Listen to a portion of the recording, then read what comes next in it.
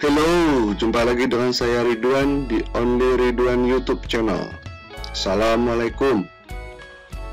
Kali ini kita akan membahas video tutorial bagaimana cara membuat batik dengan motif parang rusak.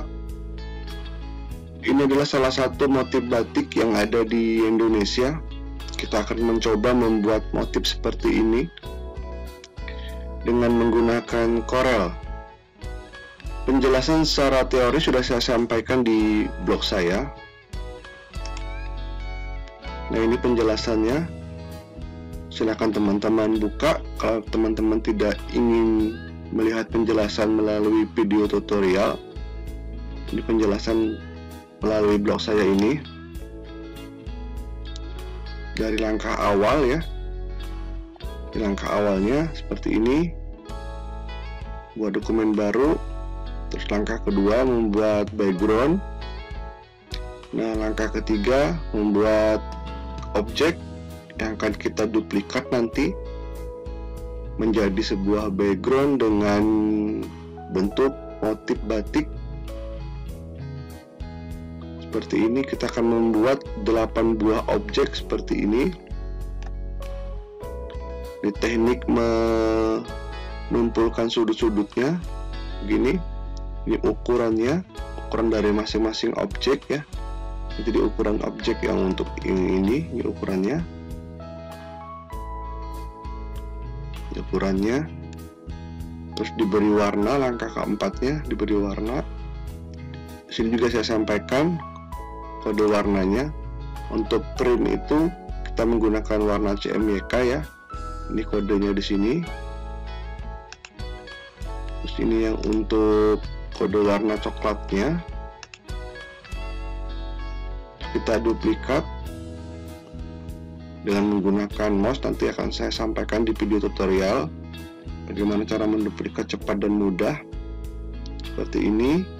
Duplikat menjadi banyak seperti ini. Terus akan kita tempatkan di background yang kita buat di langkah pertama. Seperti ini hasilnya. Oke kita akan mulai saja. Sebelum mulai bagi teman-teman yang belum subscribe jangan lupa klik tombol subscribe dan jangan lupa aktifkan lambang loncengnya. Dan jangan lupa juga like and share nya bagi teman-teman yang belum berlangganan agar teman-teman dapat mengetahui update video saya selanjutnya baik teman-teman kita mulai. Bagaimana cara mendesain batik dengan motif parang rusak? Seperti ini ya. Oke saya buka Corel Langkah pertama, kita buat dokumen baru, file new atau Ctrl N. Nah, di sini saya menggunakan kertas A4 saja. Dengan unitnya cm, dengan orientasinya saya adalah pilihnya landscape. Color modenya saya pilih CMYK. Terus rendering resolusinya saya menggunakan 300 dpi seperti ini terus saya oke okay. nah kita bisa langsung membuatkan backgroundnya teman-teman bisa membuat backgroundnya kita akan buat background sebesar area kerja ini dengan cara double klik saja di sini di rectangle tool akan tercipta sebuah kotak sebesar area kerja klik di sini nah seperti ini tercipta sebuah kotak sebesar area kerja terus diberi warna diberi warna hitam. Saya akan cek dulu di sini saya menggunakan pewarnaan apa nih? Windows Color Palette. Nah, saya akan pilih yang CMYK saja. CMYK. Terus yang ini saya hapus yang default palette-nya.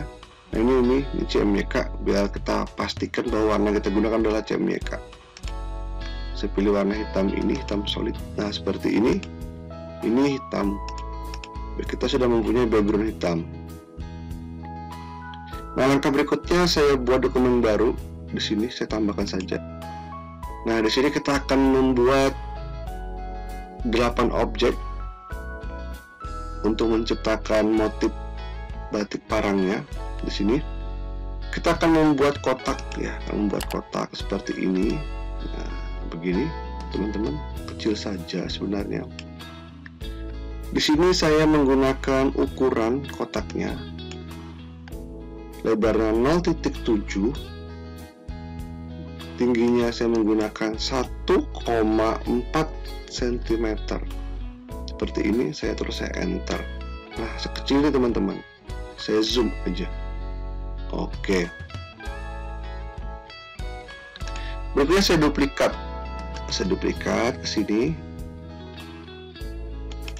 Untuk jarak antara kotak ini dan kotak ini sesuai keinginan saja. Saya buat jaraknya misalkan seperti ini. Jaraknya seperti ini saja.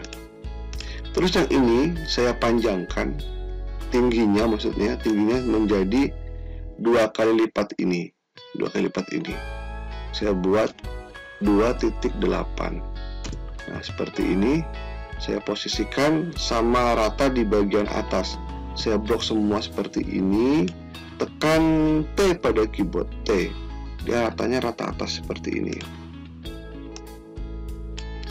sudah seperti ini kita akan tumpulkan di bagian-bagian sudut. Kalau yang kecil ini bagian kiri atas dan kiri bawah. Seperti ini teman-teman. Kita akan buat tumpulnya seperti ini. Nah seperti ini tumpulnya. Penjelasannya di sini tumpulnya oke ya kita akan coba ya buatnya ya. Kalau kita memilih objek seperti ini kan terpilih objeknya akan aktif pada option bar di sini gambar ini. Berarti kita akan masukkan di sini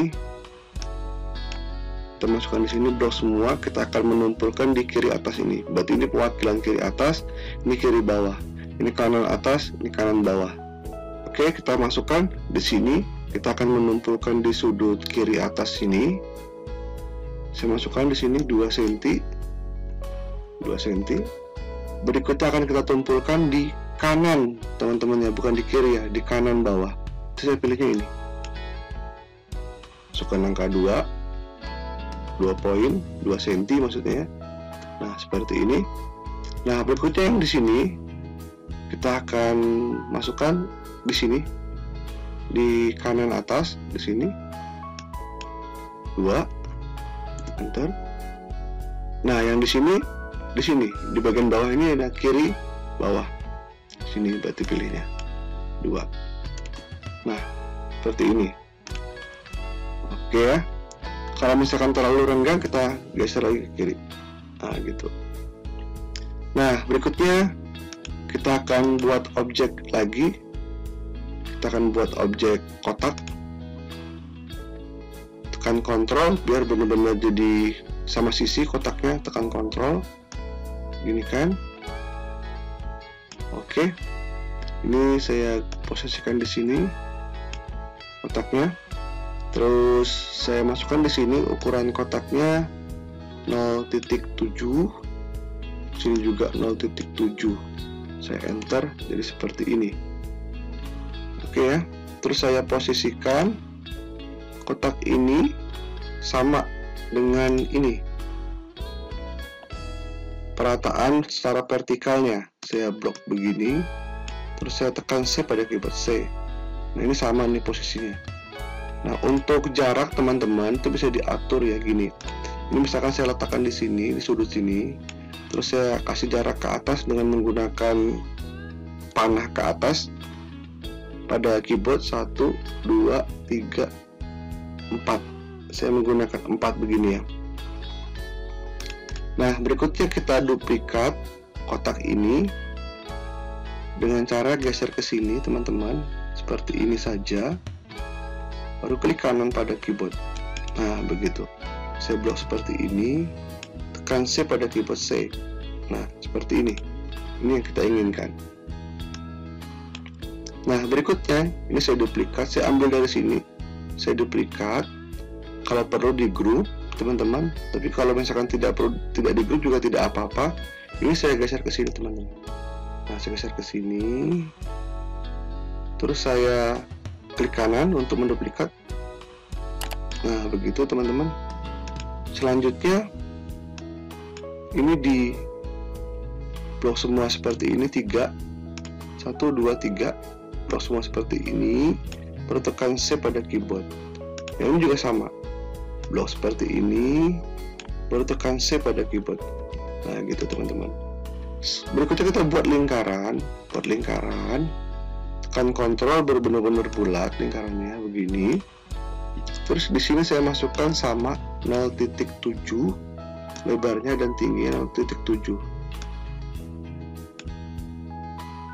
nah begini teman-teman saya posisikan di sini. Begini sini juga satu ada di sini. Oke. Nah berikutnya ini saya blok begini. Berapa objek? 1 2 3 4 5 tekan C pada keyboard C. Oke. Ini udah jadi teman-teman. Seperti ini yang kita inginkan mengenai jarak ini dengan ini teman-teman atur saja. Yang penting kotak ini sama kotak ini sama. Kotak ini sama kotak ini jaraknya sama. Lalu dari sini ke sini juga jaraknya sama dengan ini. Dari sini ke sini sama. Oke seperti itu. Selanjutnya pewarnaan. Saya zoom di sini teman-teman. Sebenarnya kita kasih warna teman-teman. Kita beri warna. Kalau yang ini warnanya cream ini juga cream terus berikutnya ini juga cream ini juga cream cara memberi warnanya teman-teman lihat kode warnanya di sini. Nah yang ini. Nah ini CMYK kodenya 20300 CMYK ya. Nanti kita akan masukkan warnanya di sini di sini dulu warnanya. Klik di sini teman-teman. Double klik saja. Kliknya yang ini. Nah di sini kita masukkan. 2 0 30 0 ini untuk warna krim. Krim yang saya inginkan. Kalau misalkan teman-teman mau warna krim lain juga nggak apa-apa sih. Terus saya oke okay, warnanya seperti ini teman-teman berikutnya warna ini warna coklat. Coklatnya kita cek kode warnanya. Di sini. Nah ini.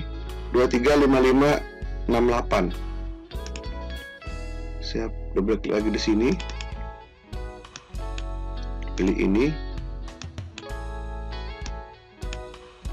23 55 68 4 ya. Sini posisinya. Kita cek. 23 55 68 4 oke. 23 55 68 4 oke. Nah ini warnanya. Untuk yang lainnya kita copy saja warnanya. Dengan menggunakan ini teman-teman. Color airdrop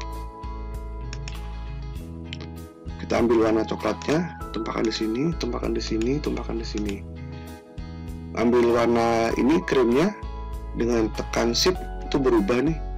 Pointer kita menjadi airdropper ambil warna krim tumpahkan di sini tumpahkan di sini tumpahkan di sini. Oke ya ini udah jadi teman-teman.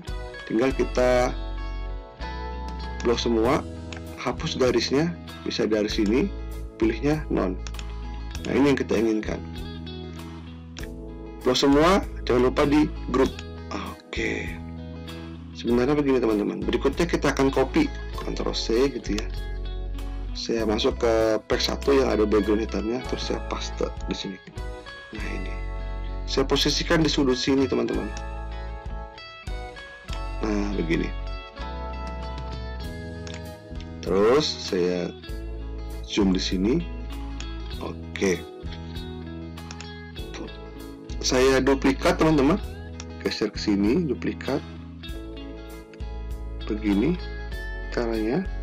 Posisinya itu harus sama baru klik kanan teman-teman klik kanan. Nah begini. Nah ini posisinya ini harus sama di sini. Yang ini yang ini harus sama dengan ini posisinya di bagian bawah sini. Nah setelah duplikat seperti ini jangan digeser-geser teman-teman saat kita menduplikat dengan menggunakan mouse klik kanan kita geser baru klik kanan jangan digeser-geser objek ini. Nah berikutnya tinggal teman-teman tekan Ctrl D pada keyboard Ctrl D seperti ini. Sampai pull ke atas. Nah seperti ini. Sudah pun seperti ini baru kita browse semua. Jangan lupa di grup di grup saya zoom lagi di sini. Kita akan duplikat lagi teman-teman. Ke bagian atas gitu ya. Duplikatnya begini teman-teman. Nah ini kan ada titik sini. Ada titik putih gini ya. Ada titik putih ini. Di sini juga ada sebenarnya titik putih. Titik putih ini. Nah dari sini teman-teman klik tahan. Ini perhatikan cara menduplikatnya. Oke. Dari sini klik tahan di sudut ya klik tahan baru geser ke sini. Tempel di sudut sini teman-teman. Di sudut kotak ini juga. Ah baru klik kanan. Nah. Nah gitu teman-teman. Baru kontrol D pada keyboard. Kontrol D. Nah.